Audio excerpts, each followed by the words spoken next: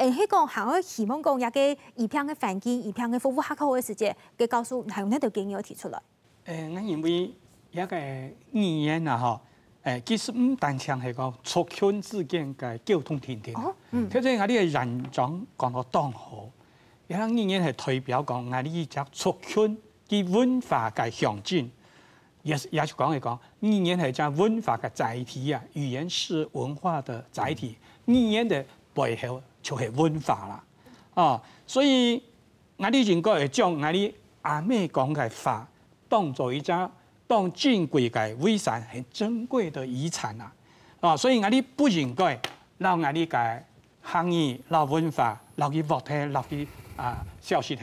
所以我哋有只責任，有只使命感，就會來推推上傳下去。嗯。啊，所以我哋應該，我哋教我哋嘅下一代人啊，後生人都本佢啊，會講我哋嘅行業，係講某個時節也是會本人當修理啦，因為也係翻譯特強嘅，係講翻譯特強發展下嘢些，我哋本土嘅語言啊，是常常會消失嘅，也唔係消失嘅。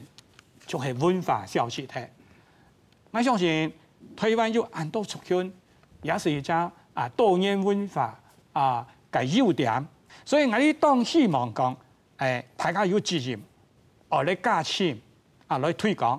我哋想看下，假使一隻醫療人員去看到病人，佢會用講啊，你食飽嗎？哦，你差唔多要睡好冇？啊，我相信也簡單幾幾個行業嚟門窗門端啊，不管。係老人家也下後生嘅平價嘅談到啊，因為多大少，因為除咗我當受到尊重，也會當歡喜，所以仲講一句，也義父嘅語言，因為影響到也醫療人員嗱平價嘅關係，係講我哋好好嚟利用呢個母語嚟交通，嚟了解也平價去促進嘅文化背景啊，做得。